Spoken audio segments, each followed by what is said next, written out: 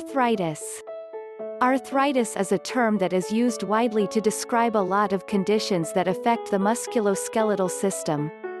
There are different types of arthritis, osteoarthritis, which is caused by wear and tear on the joints and rheumatoid arthritis, which is an autoimmune disease where the immune system attacks the body's joints. The most common type is the osteoarthritis and symptoms can include pain, swelling in the joints and stiffness affecting the range of movement in the joints. These symptoms can also be the same if you suffer from rheumatoid arthritis so it can get confusing. Other symptoms that you may suffer can be loss of sleep, weight gain and even gastrointestinal problems often due to the drugs that you may be taking to treat the arthritis symptoms. Some things that you can do to help relieve some of the pain, swelling and stiffness naturally will also help relieve those secondary symptoms. You need to remember that diet has an important impact on your health. Weight gain can be a side effect of arthritis as pain can hinder your activity levels, which is why it is important to try and stay active. Eating lots of fruit and vegetables and limiting meats, grains and dairy can help. Sensitivities to foods can play a big part in arthritis so keep be aware of what your allergies are and what sensitivities can cause inflammation in your body.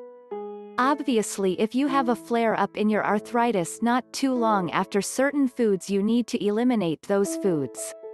Exercise will help lessen your weight gain and will increase circulation and flexibility in the muscles which strengthens them.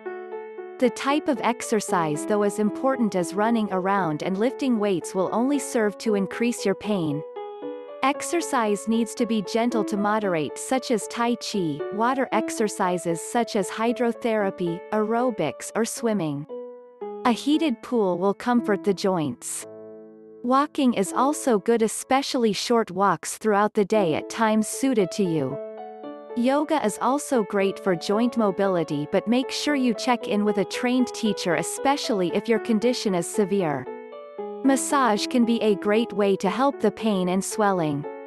Try some aromatherapy oils to help with the pain. Some good suggestions are 2 drops each of ginger, juniper and black pepper added to 10 mls carrier oil such as grape seed or jojoba. Massage gently around sore joints to ease stiffness and inflammation.